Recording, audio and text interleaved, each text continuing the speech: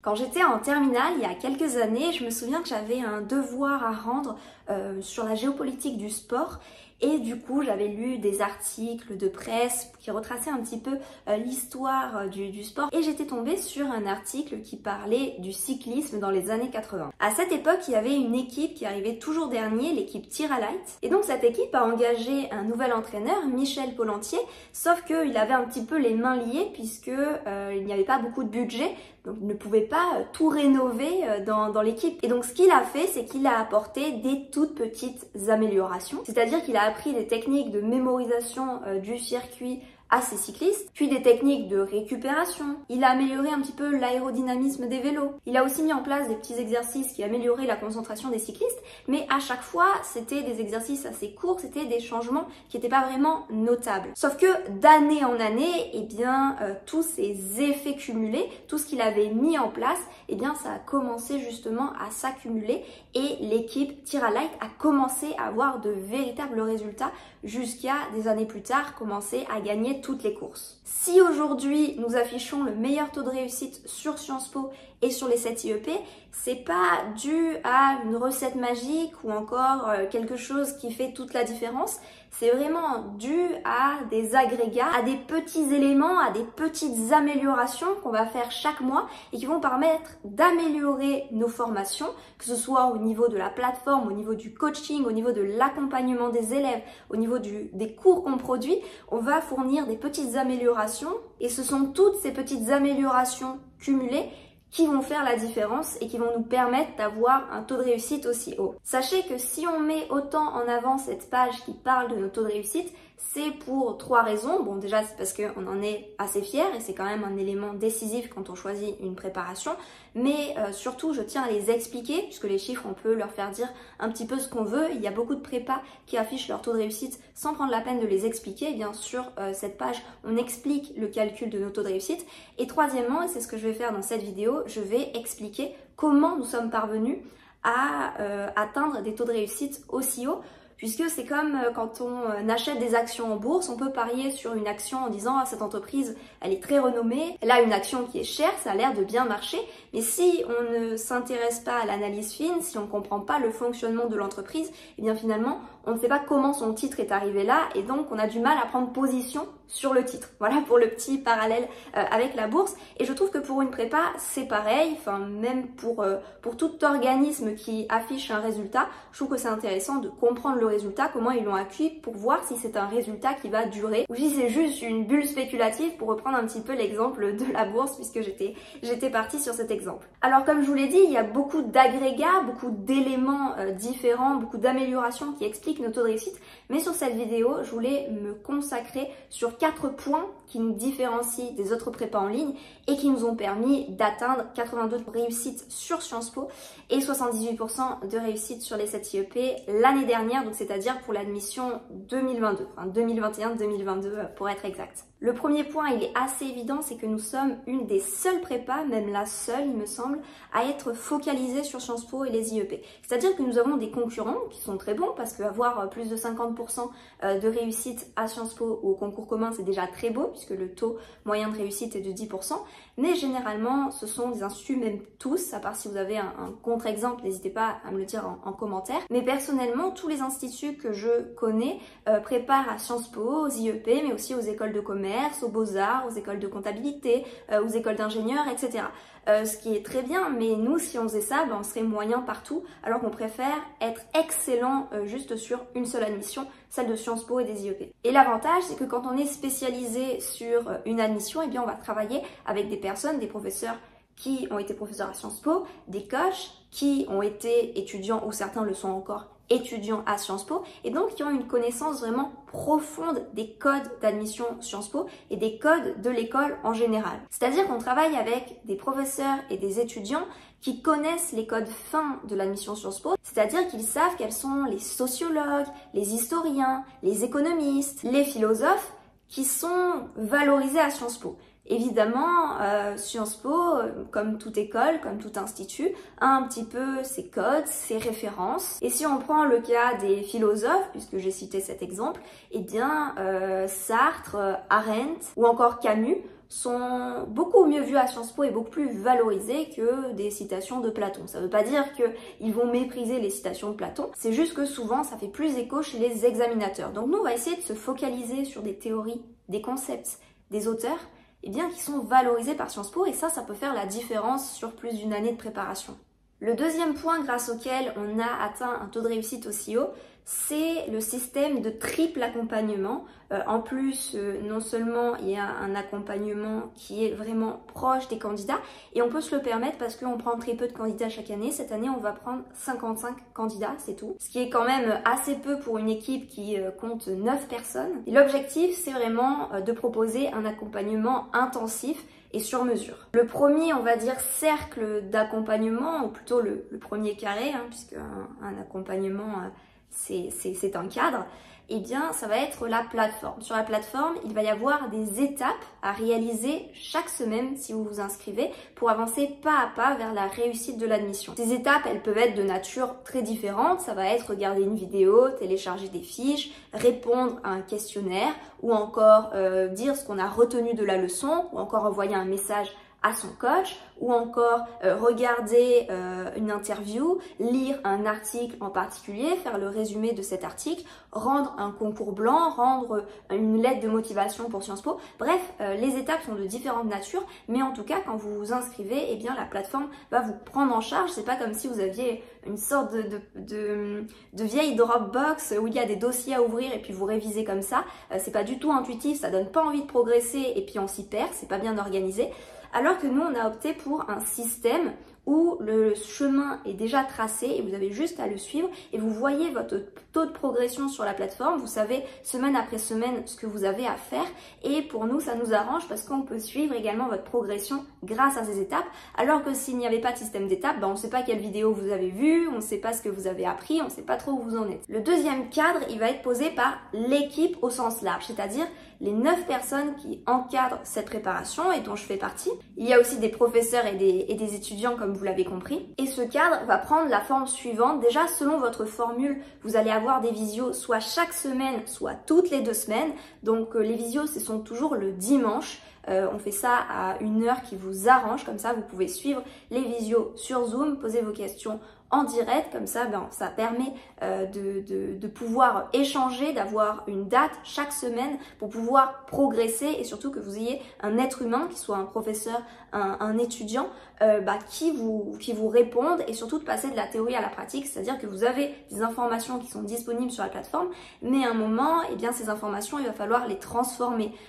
Dans le cadre du concours commun des 7 IEP, par exemple, ces informations vont former une dissertation. C'est pour ça qu'en visioconférence, on va beaucoup euh, faire de types concours ensemble pour se préparer à tous les sujets éventuels. En plus des visios qui sont faites par l'équipe, c'est-à-dire que vous allez avoir des visios avec des professeurs, avec des coachs, avec moi-même, eh bien l'équipe va également répondre en vidéo euh, dans la semaine à toutes vos questions. C'est-à-dire que sur la plateforme, il y a un onglet consultation et cet onglet consultation, ça vous permet à chaque leçon, vous allez dans questions et à chaque fois que vous posez une question sur une leçon, ça va tomber dans la rubrique consultation et ça va nous permettre de répondre en vidéo. Mais mieux que ça, toutes les vidéos vont être enregistrées. Donc à la fin, on a une grande bibliothèque euh, de, réponses en vidéo et vous pouvez également aller voir ce que d'autres candidats avec qui vous avez déjà échangé ont posé comme question parce que parfois il y a des réponses vous allez vous dire ah c'est super intéressant mais j'avais même pas pensé à poser la question mais ça ouvre un débat.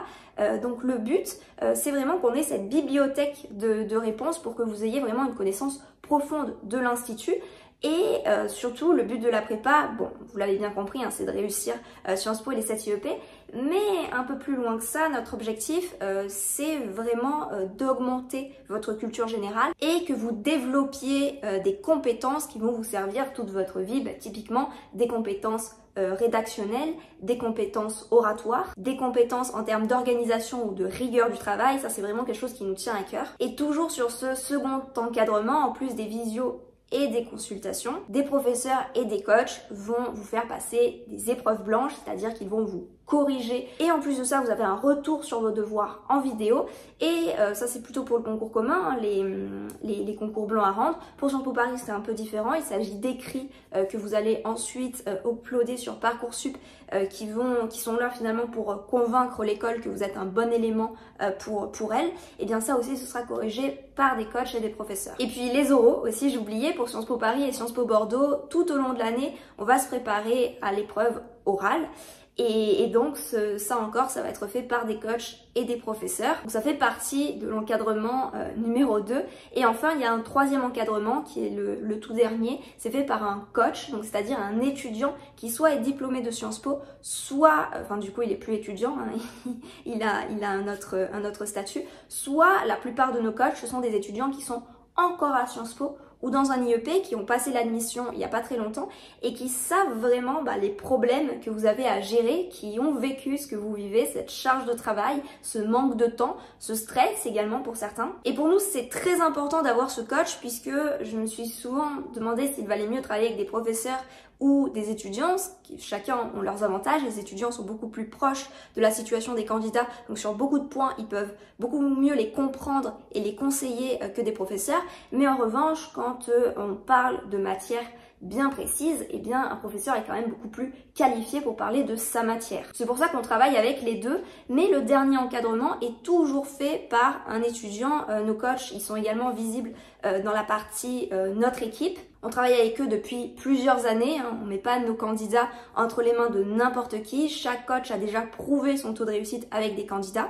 Et donc non seulement vous allez avoir mon numéro euh, de, téléphone si vous avez un problème ou quoi que ce soit pour ne pas passer euh, sur un support client, voilà, on n'est pas, on pas SFR, euh, comme ça, ça, va plus vite si, si vous avez un, un, problème, donc vous avez une, un contact direct euh, avec, euh, avec moi-même. Mais en plus de ça, vous allez avoir un coach à qui vous avez le numéro. Et si vous avez un souci, si vous ne savez pas comment vous organiser, bah, vous allez pouvoir communiquer avec lui. Et c'est ce coach qui va être responsable de vous et de votre réussite. C'est-à-dire qu'il va euh, regarder un petit peu votre taux de progression, il va vous donner des conseils qui sont à la base de son expérience. Et en plus de ça, le coach est choisi par rapport à un questionnaire. Le but, c'est vraiment qu'il corresponde à votre profil. Et donc, c'est vraiment ce triple encadrement, ce triple suivi qui va permettre à nos candidats de ne pas décrocher de ne pas perdre de temps, au contraire, on leur en fait gagner. Ça permet de ne pas se démotiver parce qu'on a toujours quelqu'un à qui parler qui nous motive. Et ce qui est motivant aussi, c'est d'avoir des étapes puisque on voit que chaque semaine, grâce aux visios, grâce aux corrections, euh, grâce aux messages que nous envoie notre coach, eh bien on voit qu'on avance progressivement vers la réussite du concours. En ce qui concerne le troisième point, alors euh, celui-là, j'ai vraiment hésité euh, à le mettre parce qu'il il sonne un peu creux, je trouve. Euh, j'ai hésité entre euh, mettre en avant nos prépa bac, euh, on est également la, la seule prépa à vous préparer au bac, à faire en sorte que vous ayez les meilleures notes parce que ça compte pour Sciences Po depuis la réforme. Et beaucoup d'instituts ne sont pas à jour par rapport à ça, mais je pense que j'en parlerai dans une autre présentation.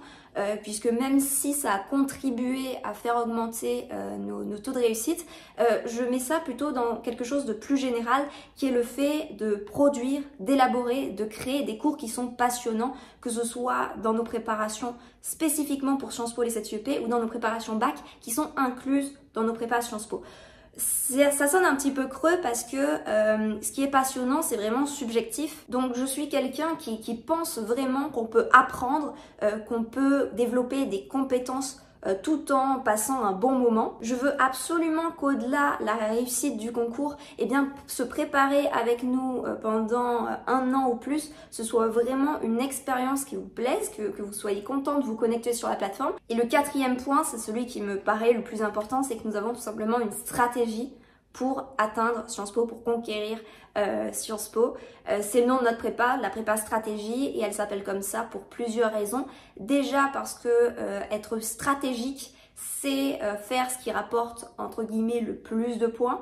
Euh, le moindre effort pour le plus de résultats. Alors ça peut paraître un peu paresseux comme ça, mais en fait non, un bon stratège, euh, notamment c'est notamment employé dans le domaine militaire, eh bien il remporte une bataille euh, en... et ça l'intéresse pas de perdre un maximum de troupes. Hein. C'est gagner une bataille euh, terrasser l'ennemi en perdant le moins de soldats possible. Donc on sait qu'en terminale, vous avez beaucoup de choses. Vous avez ben, non seulement la préparation au concours, mais aussi euh, le lycée, le bac, euh, Parcoursup. Hein, ça, ça se rejoint mais ça a beaucoup de, de charges psychologiques qui, qui s'ajoutent et beaucoup de temps. Euh, vous, avez, vous devez trouver une orientation, vous avez peut-être le permis de conduire euh, qui euh, se rajoute. Souvent, nos élèves sont des personnes qui font pas mal, qui ont des spécialités, qui sont parfois dans des clubs ou dans des associations. Donc ça aussi, évidemment, ça rajoute sur l'emploi du temps. Donc le but, c'est pas de vous alourdir votre emploi du temps, mais au contraire de vous faire économiser votre temps, donc d'avoir le meilleur résultat possible, les meilleures notes possibles tout au long de l'année. Euh, la meilleure façon euh, de se défendre à l'écrit comme à l'oral pour euh, avoir Sciences Po sans y passer trop de temps puisque on va essayer de vous mâcher le travail autant vos coachs euh, que euh, nos professeurs. Donc derrière le mot stratégie se cache finalement la productivité. c'est un mot qui, qui, peut faire peur, mais en réalité hein, la productivité c'est l'efficacité et l'efficacité c'est c'est ce qu'on vise hein, euh, pour, atteindre une grande école. Mais c'est pas la seule chose qui se cache derrière le mot stratégie. Il y a beaucoup de concepts justement euh, pour, pour parvenir à économiser son temps et à performer euh, au, lycée, à performer scolairement et développer des compétences. Bah, notamment un concept qu'on a inventé, le recyclage de connaissances. Enfin, je pense pas qu'on l'ait inventé, mais en tout cas on, a trouvé le, le, le terme.